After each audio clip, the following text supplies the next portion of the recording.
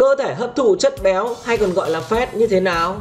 Bạn biết đó, chất béo là một chất trong nhóm dinh dưỡng đa lượng vô cùng là đặc biệt.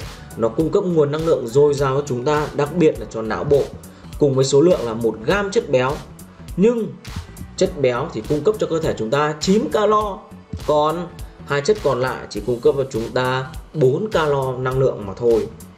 Mà trong nạn đói, chất béo lại càng đóng vai trò quan trọng hơn khi nó là nguồn năng lượng để cung cấp cho cơ thể của bạn duy trì được và để cho bạn được một sự sống.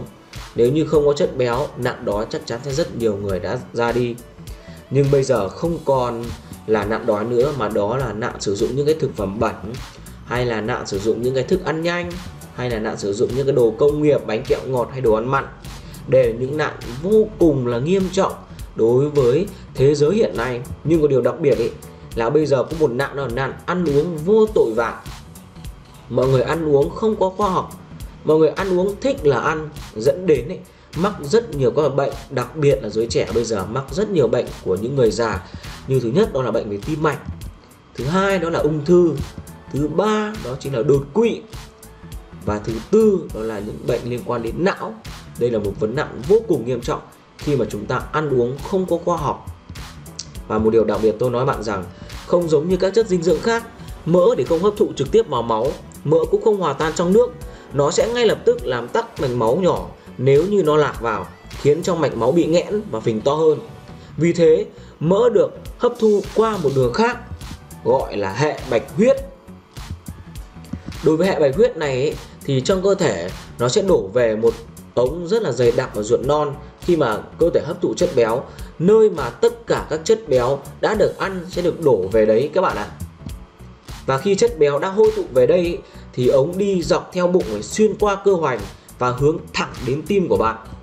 Vì vậy khi mà các bạn ăn dù có chất béo tốt hay là chất béo không tốt là những cái đồ ăn chiên rán ấy, thì nó sẽ đi thẳng vào tim và nó sẽ không đi qua gan để nó lọc những cái chất độc hại nữa. Vì vậy, nó sẽ cực kỳ nguy hiểm nếu như chúng ta ăn những cái chất béo không lành mạnh, khiến cho tổn thương tim của bạn.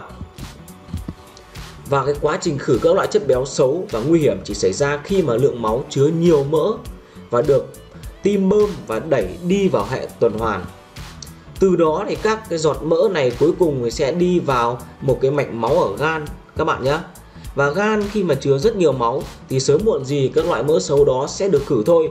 Nhưng, khi mà được khử rồi thì cơ thể của bạn hấp thụ rất là nhiều những chất béo không tốt từ thức ăn nhanh này, hay là từ bơ này, đúng không ạ? Hay là từ những cái đồ chiên rán ở ngoài quán các bạn ăn ấy, thì đây là một điều vô cùng nghiêm trọng.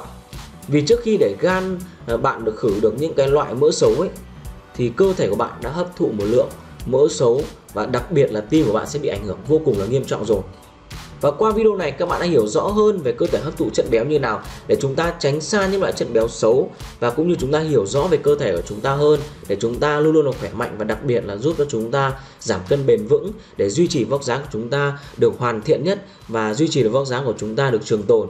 Cảm ơn các bạn đã xem hết video này. Hẹn gặp lại các bạn ở những video theo. Hạ Quang Linh, xin chào.